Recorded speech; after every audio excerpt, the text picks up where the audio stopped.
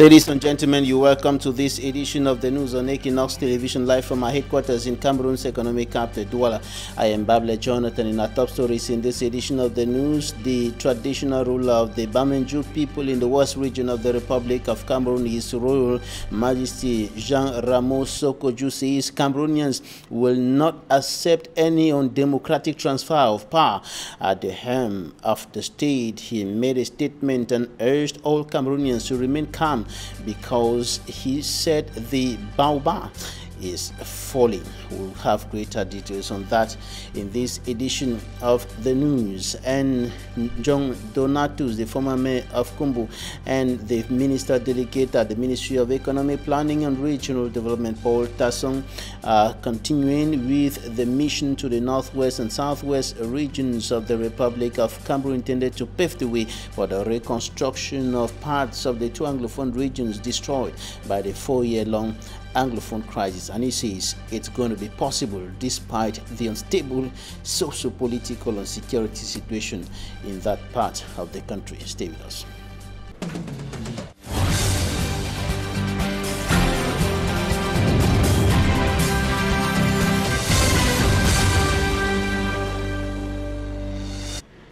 Reconstruction will take place. Reconstruction has to take place in the two Anglophone regions of the Republic of Cameroon, says the Minister Delegate at the Ministry of Economic Planning and Regional Development, Paul Tasong, who is on a mission to the northwest and southwest regions of the country. He and his collaborator, former mayor of Kumbo, John Donatus, are currently in the southwest region of the country, meeting with administrative, uh, traditional, and even religious authorities discussing uh, the way forward in the reconstruction of villages destroyed by the Anglophone crisis, which has been pulling on for close to four years today.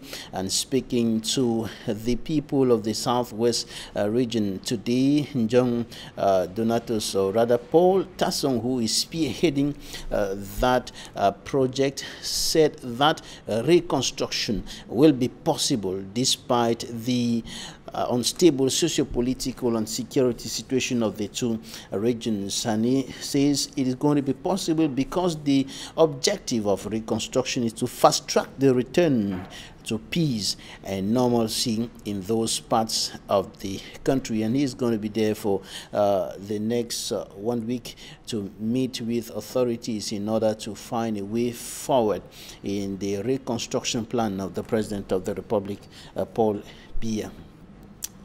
And uh, in the meantime, gun battles continue between separatist fighters and elements of the national armed forces in the two Anglophone regions of the country as the top military officials in those uh, two uh, regions continue with efforts to bridge the gap between the population and the military. The commander of the second military uh, region in the southwest region of the country, Colonel Eba Eba Benoit, told the people of Eshobi that his mission is to protect them on his way to that part of the southwest region and other areas badly hit by the Anglophone crisis his convoy came under stiff separatist attacks. Derijato reports.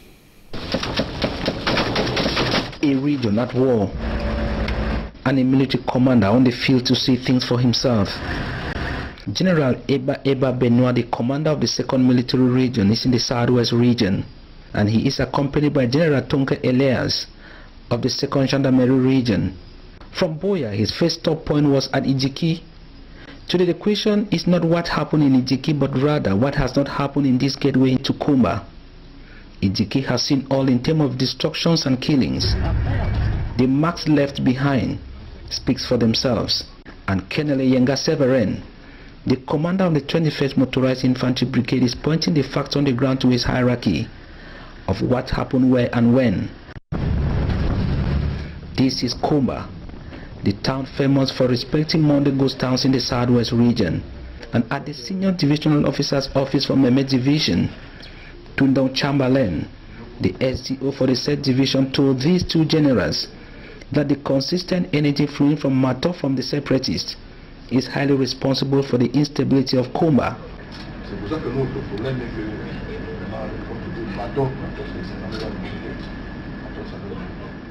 In other words, Control Mato and the Monday Ghost Towns in Kumba will die a natural death. At the 21st Support Battalion, names like Kusala, Ekumbe and Kake were mentioned. But the pace of things along this Kumba Mamfe route is being removed by the separatist fighters of Ikiliwinji. And this is Ikiliwinji.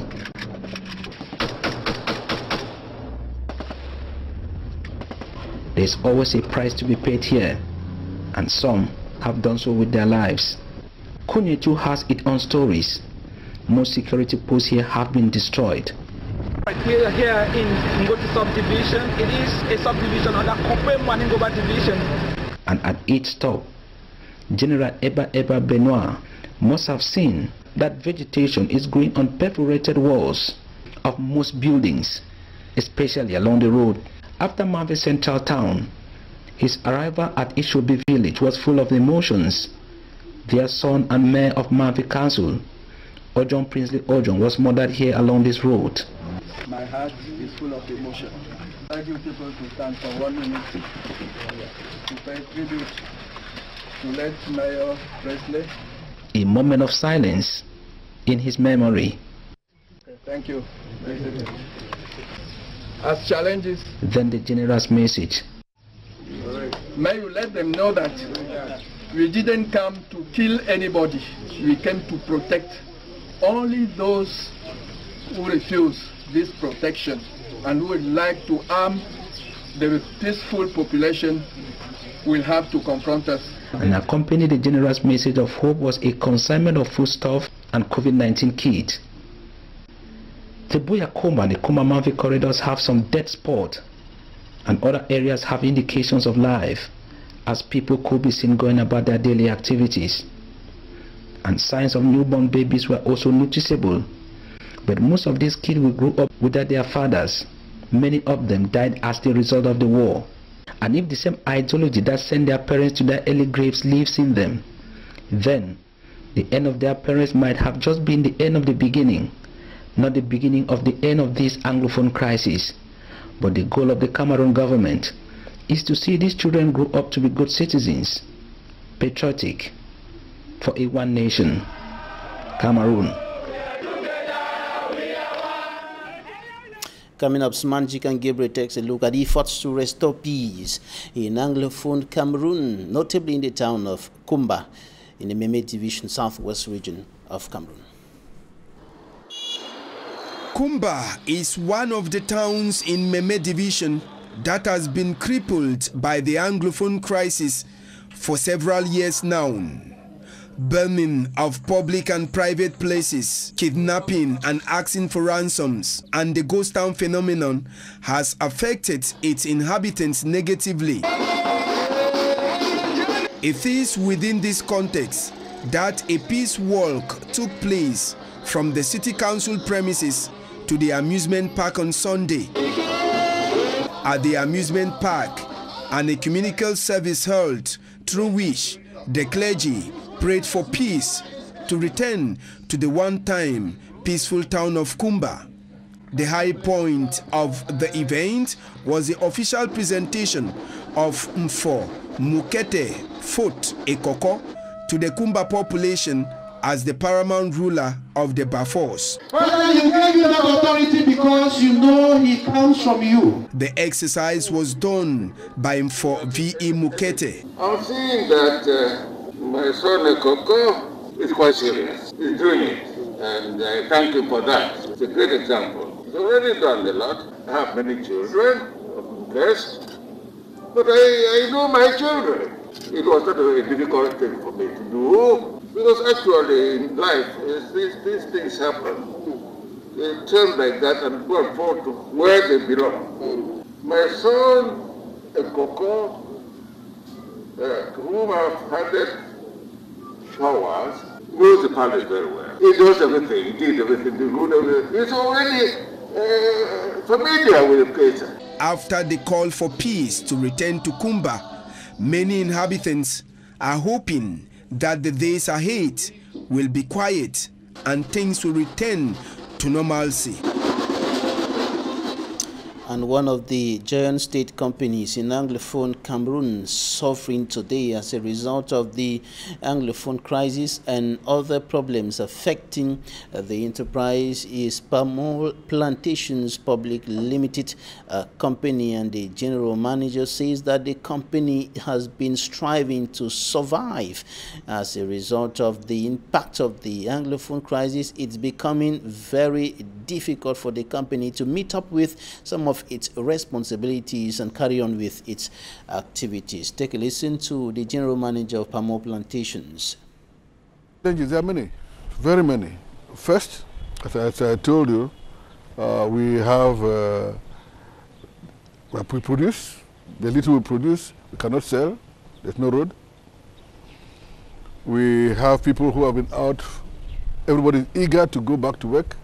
We cannot go because those the pockets of those pocket of resistance everywhere, uh, both in uh, the outskirts of Mundemba and uh, outskirts of Ekondo Titi.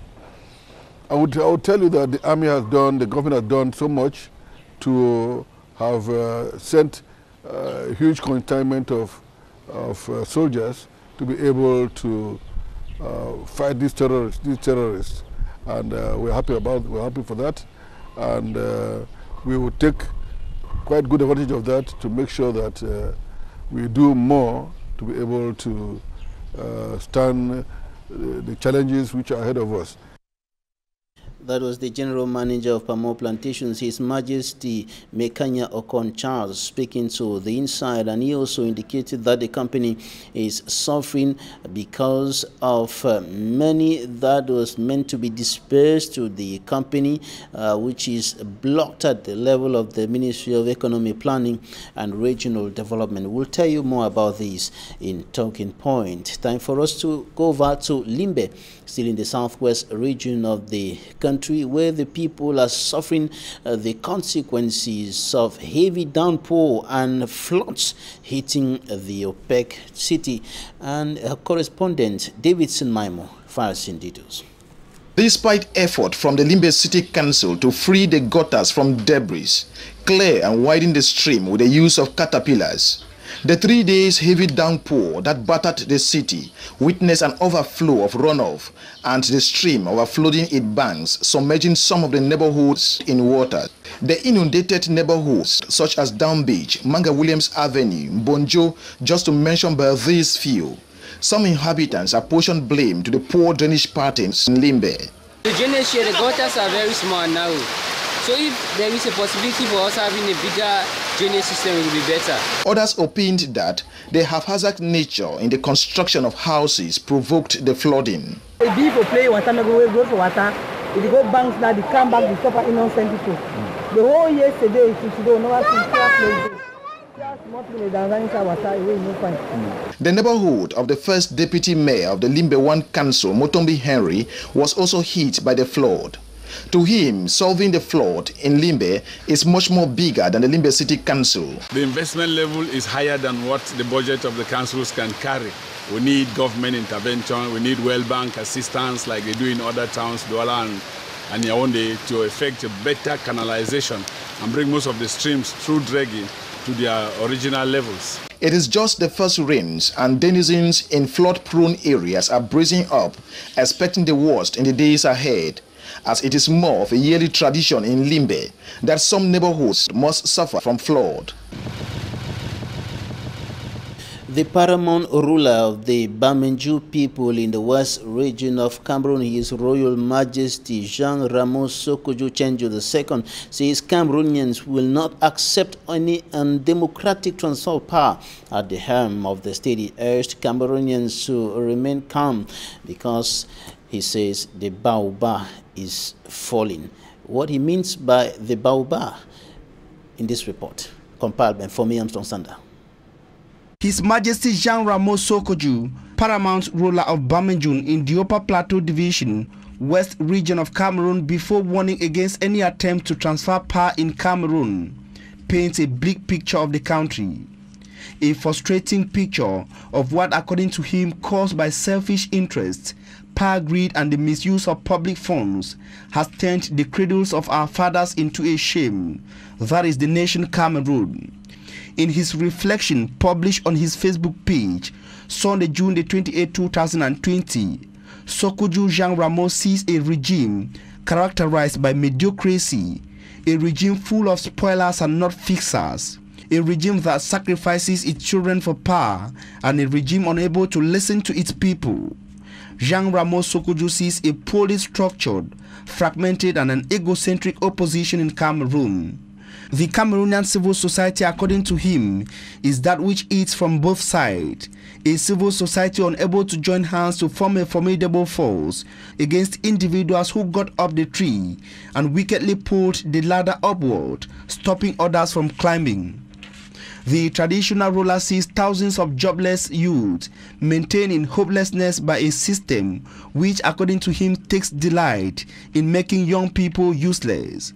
He sees a widespread falling moral standard with sacrilegious acts when children will leave the corpse of their father in a mortuary to settle scores in a court. Sokoudjou Jean Ramon asked if it were not better he went blind from seeing what he sees about Cameroon today or deaf from hearing what he hears about the country today. After the bleak picture, the custodian of the tradition of the Bamenju people and the one who speaks with his ancestors says Cameroonians should smile because the big tree, the tree he calls the baobab, is about falling. Sokoudjou Jean Ramos says people are not foolish and will not accept any November 82 in Cameroon again. Roughly translated from French language, he said a fool on away and return should ask that his coffin be made. After the above reflection, the traditional ruler said Cameroonians, especially youth, should not give in to bloodshed, given that enough blood was already being shed in the northwest and southwest regions. To every citizen, the traditional ruler asked a self-retrospection on what they have done for a better Cameroon and what legacy they will wish to leave. He asked the youth to avoid being manipulated by the very individuals whom, according to him, are responsible for their suffering. He believes intellectuals should be the pillars of the renaissance of Cameroon, while citizens assemble their buckets of water to put off the flames in a burning Cameroon. Many inhabitants of uh, Kaélé in the Mayo-Kani division, far north region of the Republic of Cameroon are still not respecting anti-COVID-19 measures of government despite the sensitization uh, engaged by authorities in that part of the country. Many are still seen moving around without the face mask. Many still do not respect the physical distancing rule. Many uh, do not wash their hands as frequently as recommended by the World Health Organization. Makuli Fuga reports. Following government's relaxation of some COVID-19 lockdown measures in Cameroon so as to ease the negative economic impact of the pandemic on the population, especially on business persons, civil persons tend to believe that the coronavirus does not exist Thus, no need to apply the barrier measures taken by the government of Cameroon. This is a case of Kaélé in the Mayo-Kani division, far north region of Cameroon. Several persons in the area could be seen going along with their business activities without wearing face mask. I know that the coronavirus does not exist in Cameroon. The government just wants to receive aid from developed countries. We do not need face mask. The virus does not exist. Since there is no one implementing the wearing of face mask, I just think it is not necessary for me to do so. Many accuse the Kaélé Council for not supporting the population adequately in the fight against COVID-19. Hygiene kits were distributed to the population by the head of state, but we did not witness enough sensitization campaigns done by the government. Particulièrement, l'intervention de l'État ne se fait pas ressentir à Kaïdé la, la commune devait faire son travail pour... The council was supposed to share hygiene kits to households, but they did not do their work. The access to wash hands with water and soap, but a few buckets shared by the council do not have taps on them. So, several persons have to wash their hands in the same bucket. With 94 COVID 19 cases and 6 deaths registered, elites of Kaélé decided to sound the alarm bell by calling on the population to be vigilant and know that the coronavirus is real. They equally provided 5,000 face masks, 100 mobile taps, and cartons of soap to the population. constitue à n'en point douter la contribution des élites this is the contribution of elites in the fight against COVID 19 in Kaélé. Many of them are living in precarious conditions. Despite the sensitization campaigns carried out, they do not have the means to acquire the necessary items, reason why we decided to carry out this gesture. Je salue le geste des élites que je voudrais d'ailleurs encourager much needs to be done to block the way of the coronavirus in the Mayo-Kani division as a lot of people in the area ignore the dangers of the coronavirus. Cameroon's Minister of Housing and Urban Development has given a 15-day deadline to contractors who have poorly executed some construction works in the Nkongsamba in the Moungo Division littoral region of the country until December to those who have abandoned their projects to completely to completely execute the different uh, projects. And uh, Celestine Ketcha was speaking in Nkongsamba after visiting or inspecting some road projects in that part of the country. Magic and Gabriel report. Several road projects in Nkongsamba of the Moungo division have been left undone or poorly constructed. This forced the Minister of Housing and Urban Development to the town recently to formally warn those contractors who have poorly done their work or abandoned them. These are projects to ameliorate the life of Cameroonians. You accept it having the means to carry out the work and when you come, you do little.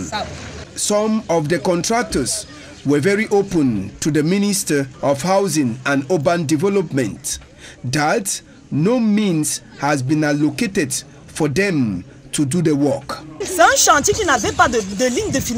It's a project that had no finance. I started working here since 2019. I did what I could do and discovered the project had no fundings. I'm reassured now that there is a line of finance.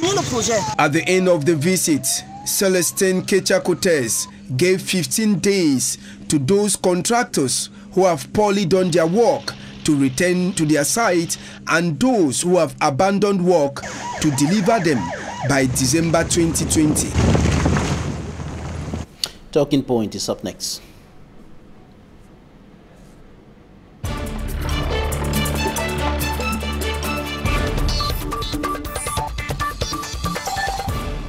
Our guest Padia Sanga, a civil society leader, is joining us from Germany. You're welcome, sir.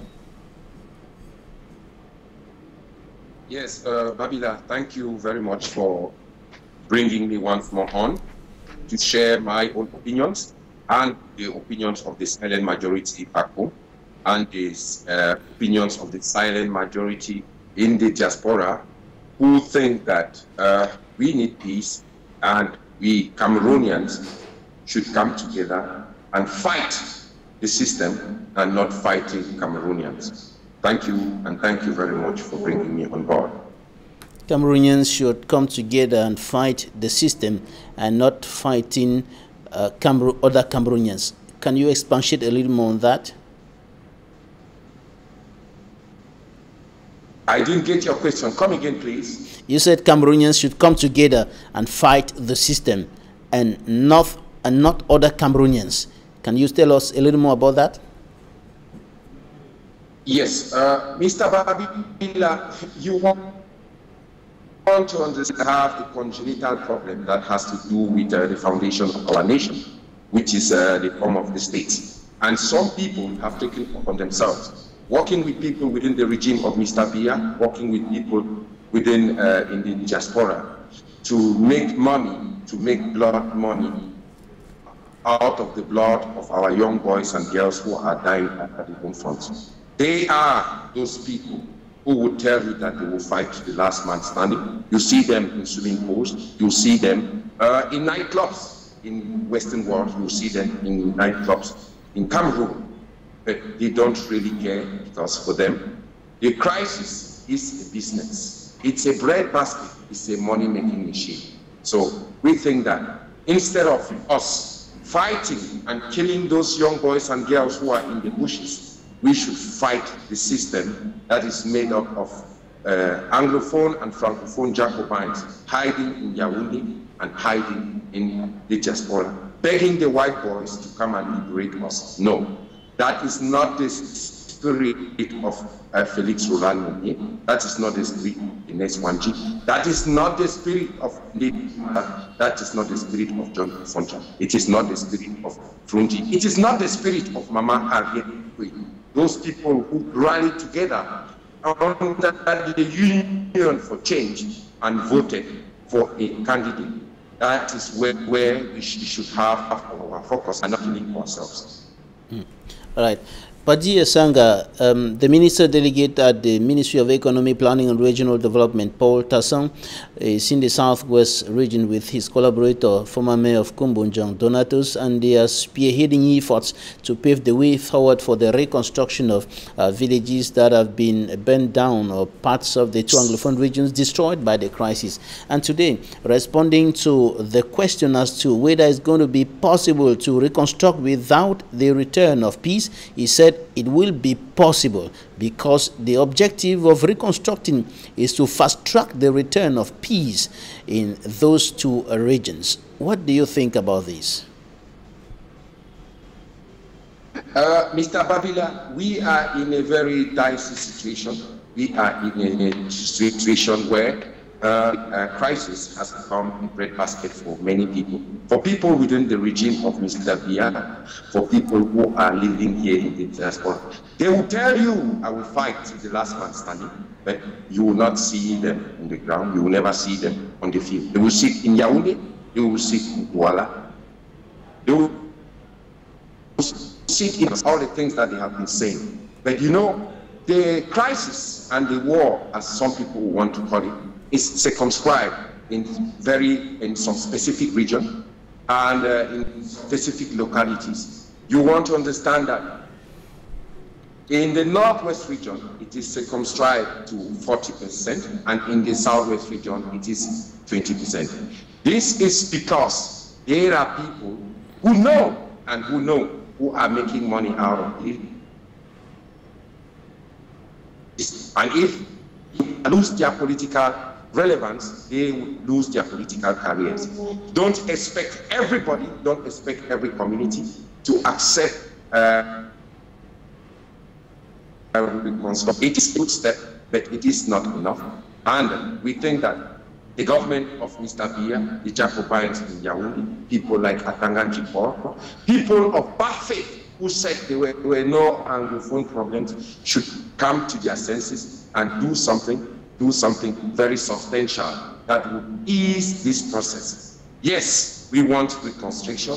Yes, we want peace. But you want to understand that uh, if somebody who had never had any political relevance, somebody who had sat in the just diaspora, signing document, and suddenly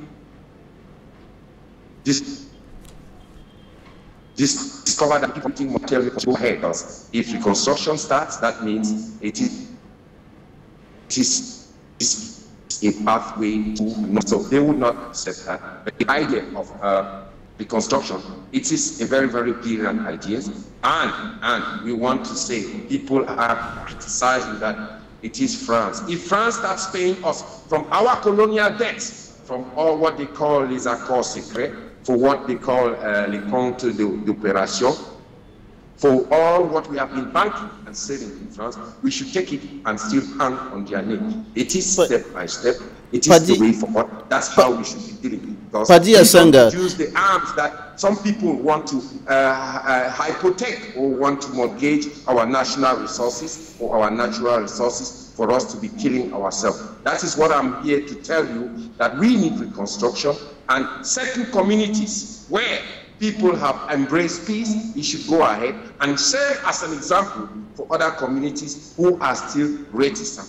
It is a way of good faith, and I would never, I would never uh, discourage any community for, for, for, for accepting uh, uh reconciliation. Thank you, Mr. Babila. Padia Sanga, from what you're saying, we can deduce that, in your opinion, uh, reconstruction is very necessary, is very important, and it is possible in this present context. So I'm going to ask you, what is required? What is required for this project to uh, be effectively executed across the two regions, not only in some parts, but across the two regions? What is required from those who are carrying guns, fighting, the population, the government authorities, and all other stakeholders?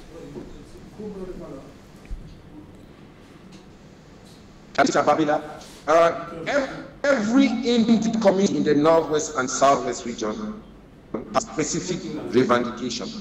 They have specific objectives. They have specific goals. They, they have uh, specific reasons why they are fighting against the, the, government of Cameroon. And that is will take you to people like Manchuku BBC, who are not supposed to be in prison, who came out and said, we have the coffin revolution. We want to. We want our uh, cities. We don't want elected uh, governors. We don't want. Uh, we don't want appointed governors. We don't want uh, government delegates who would come and impose on us. That's just to tell you that there are people who want uh, political positions, and there are people who really want to change the life of the people, to make life easy, to get roads, to get schools, to get hospitals roads and, and to get facilities like water, electricity, just like you saw the 17 boys out of the bushes, we brought out of the bushes. They were telling,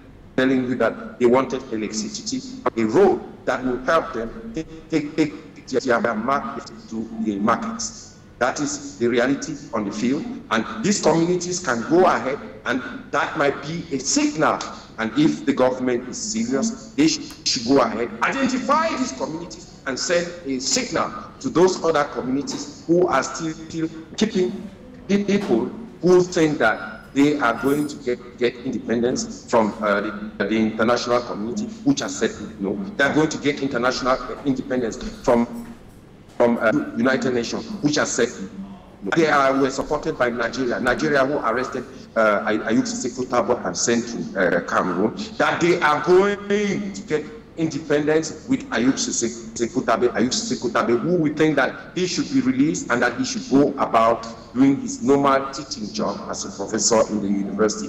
You want to understand where I am coming from, snake by snake. I have listened to audios. I have been talking to my brothers in the diaspora. They have castigated Tassang, called him a traitor. You have two camps in Nigeria, in, in, uh, in Konengi. You have Naira 9 and you have Naira 1. Naira 1 is who? It is Tassang Wilfred. Tassang Wilfred is who? He is a member of the consortium, and they have vertically castigated him and put him aside. The diaspora, what have they done? They have vertically vomited and said, Ayuk Tabe is uh, a, dictator. They have pastors in the diaspora who are praying that Ayuk Tabe should be killed, that Ayuk should never come out, and they are celebrating the fact that Ayuk Tabe is sentenced for life jail. That is not the way forward. And the government should do everything to show good faith, to show the Anglophones who voted by vote to become Cameroonians that they, are, they have recognized that yes, they were marginalized. Yes, there is a problem, and that problem can be solved step by step because there is no magic stick. If they declare a federation today, I don't think that tomorrow there will be roads in Bamenda and water or there will be no electricity cuts. So we are saying that we want the spatial status to be loaded and, and the content is very, very important for us. We are still putting and hanging on the neck of putting pressure and hanging on the neck of uh, the Cameroon government to give us a reasonable content of what we call the special status. What is the reasonable content that we expect that the content the, the, the content has already been defined the content has already been defined by Sanga. What do you mean by reasonable content what is not reasonable about the content that has uh, been defined already? Has already the content has already been defined and the content is not constitutional. We, uh, you want to understand that uh, uh, Francophones do not uh, uh, uh or Bassa people, as I heard uh, Monsieur Baibek say that they have, they want their own federation. They never voted to be part of Cameroon. And uh, if we are special, we are special because we voted to be part of Cameroon and we came in with institutions. Some of these institutions and our structural development project should be ignited and they should be constitutional.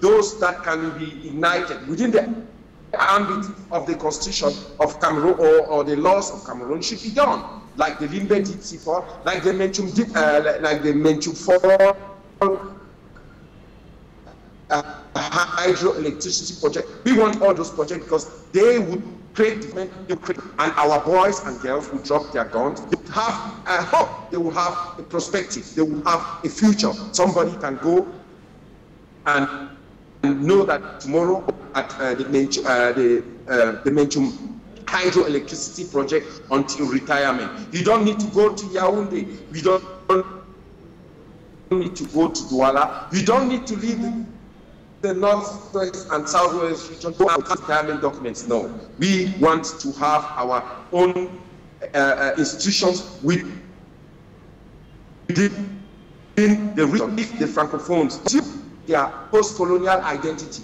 that makes them francophone, we anglophones should also consume ours, and people should start stop telling us about Bamileke power, Bassa power, Bami power, and all sorts of nonsense.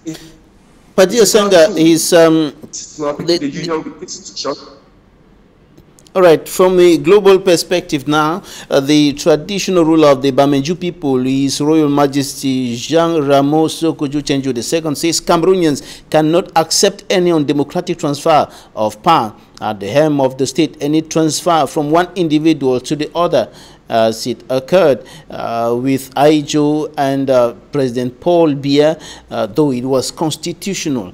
Uh, uh, it was constitutional at the time. What do you think about this? What's your take on that? Yes, uh, it, it, is, it, is, it is his right. It is his right to say that they don't want any undemocratic transfer of power. But the paradox is that they accepted that uh, uh, undemocratic transfer of power when it had it, it the power was not transferred to somebody who came of who is of the Anglophone instruction.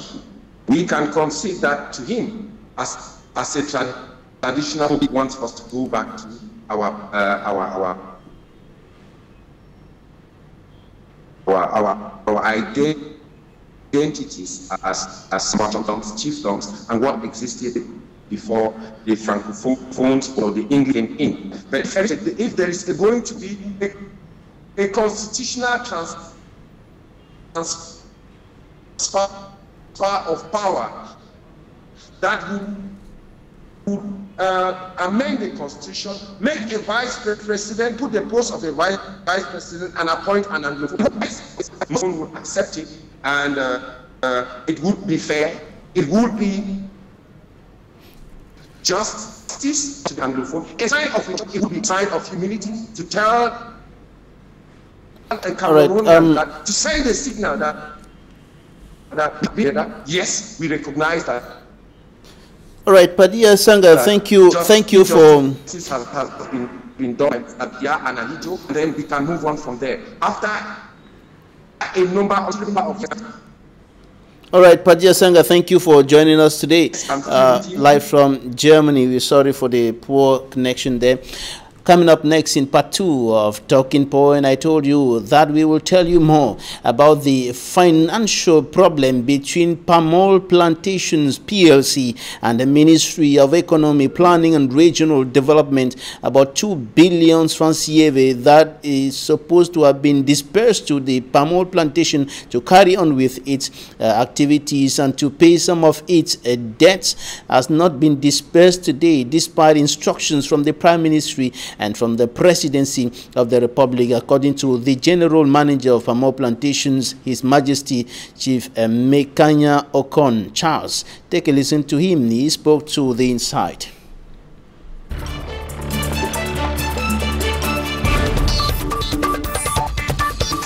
challenges are paying wages for the workers who are currently working, the few who are currently working, who are keeping the company afloat now, like those who are working in the Indian mill and the plantations, we are unable to pay their uh, to pay their wages.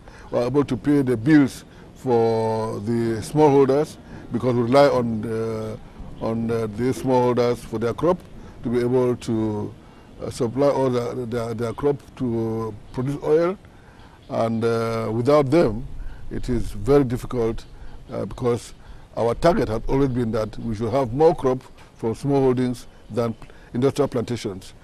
Um, the other factor is that we want to start the lobby part of the mill. The lobby part of the mill cannot start when we don't have uh, capital, uh, start of capital, because after the damage which was done in April uh, 2019, uh, when we wanted to start, the damage was huge. The factory was vandalized. Our installations were, uh, were damaged. So we need to inject a lot of money there to be able to. And we were counting so much on our resources, which, uh, which are held in the Ministry of uh, Plan, uh, because uh, we, on instructions of the, the, the, Prime Ministry, we carried out some operations on the phase two of the development projects in the Bakassi area, Bakassi Development, Oil Palm Development uh, Program, where it was intended to occupy this area, use this, this plantation to occupy the area and populate the place with more Cameroonians than before. Uh, unfortunately, this job was done, was received, was, uh, there was joint commission, we came and received the work which was done, and uh, all the necessary documentations were done for this money to be reimbursed as it was stated as, a, as pro and promised by the, uh, by the Prime Minister at the time. But this is, we are in 2020. Since 2016, this project, this money has not, or the, the, the program, I don't, I don't know how to call it, has not moved from the Ministry of Plan to Ministry of Finance to be able to pay this money. And that's what we've been struggling for, for a reason we cannot understand. We've done everything possible. The, the presidency has written for this money to be paid. The prime minister has written for the money to be paid. But the file is blocked at the Ministry of, of Economic of, Planning and Regional yes, Development. It's still blocked there. We cannot understand why.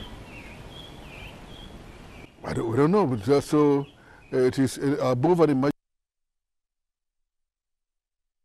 the Majesty Mekanya Okon Charles, General Manager of Pamol Plantations, speaking there to the inside. Thanks, ladies and gentlemen, for staying with us. Goodbye.